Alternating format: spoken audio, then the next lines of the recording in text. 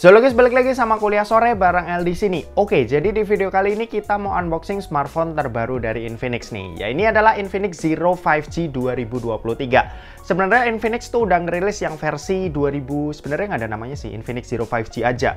Cuma kali ini mereka ngerilis yang versi 2023-nya. Bedanya kayak gimana? Ya udah langsung aja kita mau unboxing barengnya dan kita mau pindah ke kamera yang di atas. Let's go. Oke, jadi ini adalah box dari Infinix uh, Zero 5G 2023. Jadi kayak yang udah aku bilang di awal, kalau ini adalah smartphone yang sebenarnya udah rilis di tahun lalu ya di 2022.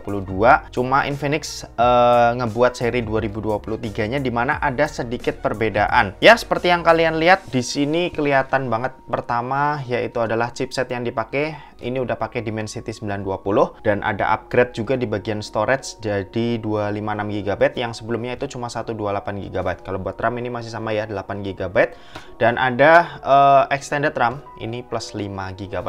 Di sebelah kiri kita bisa lihat ada tulisan Zero 5G 2023, sebelah kanan juga di bagian atas cuma ada logo Infinix. Lalu di bagian bawah ini ada keterangan uh, mengenai warnanya yang mau kita unboxing kali ini pearly white ya atau warna putih.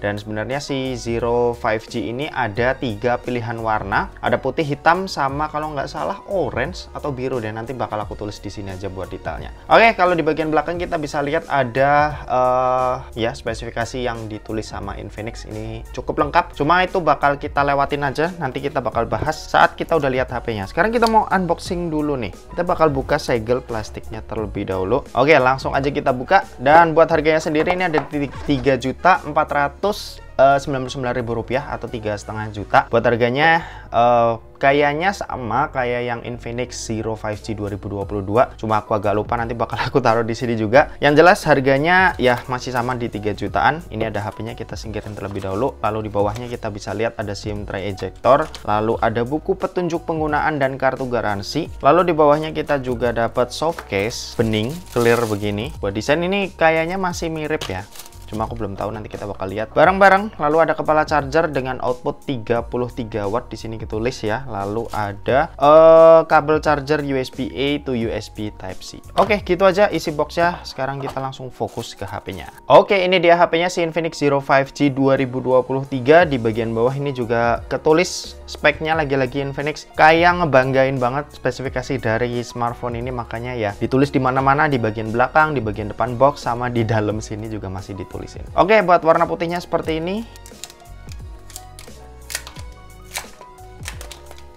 Oke. Warna putihnya gini ya. Desainnya masih mirip-mirip kayak yang 2022. Nggak tahu mirip persis atau enggak, tapi yang jelas aku lihat mataku sih ya ini masih sama di bagian belakang frame kameranya tuh ya ini mirip kayak Oppo Find X series di mana uh, eh, bagian body sama frame kamera menyatu jadi satu gini. Jadi kayak di push gitu doang. Tuh, ini ada tiga buah kamera, cuma ada downgrade nih dari kameranya. Kalau yang waktu itu ada telephoto, kalau yang ini nggak ada, jadi diganti sama makro dan depth sensor. Terus uh, kamera utamanya ini resolusinya 50 megapiksel ya. Kalau yang sebelumnya kan 48 paling ya itu doang sih di bagian bawah. Ini ditulis Zero 5G sebelah kanan uh, kita bisa lihat ada tombol volume sama tombol power yang menyatu sebagai fingerprint scanner.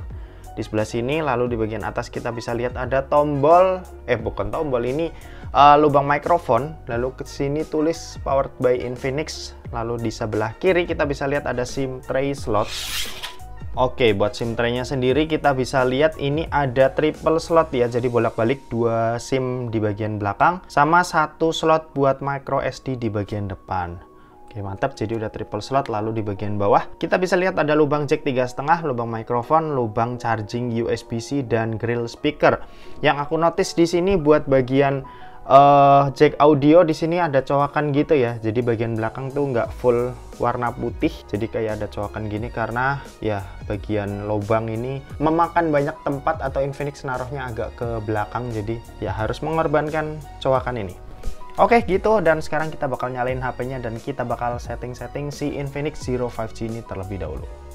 Oke, jadi ini adalah tampilan awal dari Infinix Zero 5G dan seperti biasa sebelum kita lanjut bahas spesifikasinya, kita mau ngetes dulu nih kecepatan baca dari sensor fingerprint si Infinix Zero 5G ini yang posisinya ada di sebelah kanan. Oke, langsung aja kita mulai.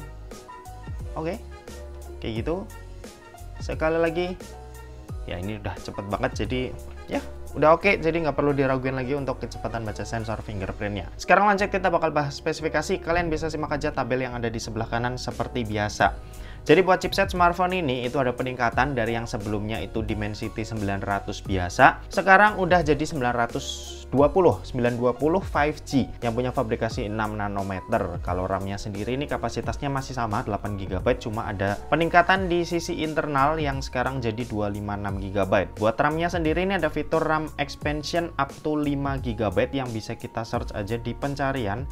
Ini tinggal ketik RAM aja nanti bakal muncul RAM-nya di sini terus ini kita klik nah ini dia memory fusion namanya ini ya dan ini bisa kita pilih dari 2 GB, 3 GB sampai 5 GB. Oke. Okay? Uh, bawaannya sendiri ini udah ke otomatis di 3 GB. Gitu, kalau buat uh, performa baterainya sendiri ini 5000 mAh masih sama dan kecepatan ngecas ada di 33 watt. Buat sistem operasi ini udah pakai XOS 12 berbasis uh, Android 12. Sayangnya masih di Android 12 ya belum 13 karena sebenarnya smartphone ini itu rilisnya kalau di luar sana di bulan Desember tahun 2022 di mana kebanyakan smartphone masih pakai Android 12.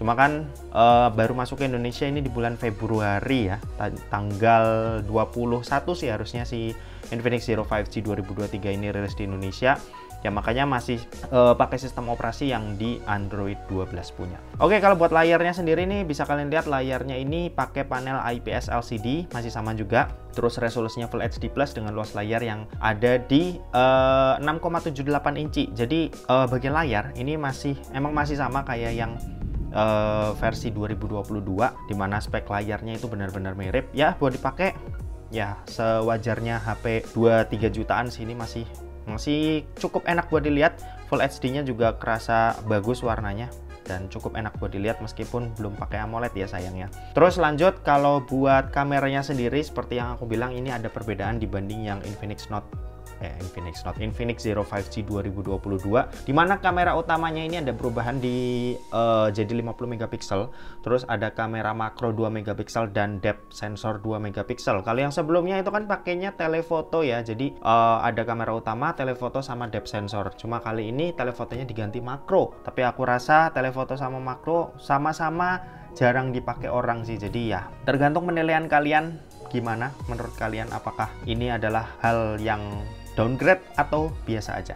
Tadi kan kita udah kasih tahu spesifikasi kameranya sekarang kita bakal langsung aja lihat hasil foto-fotonya dan berikut adalah hasil foto-foto dari Infinix Zero 5G 2023 yo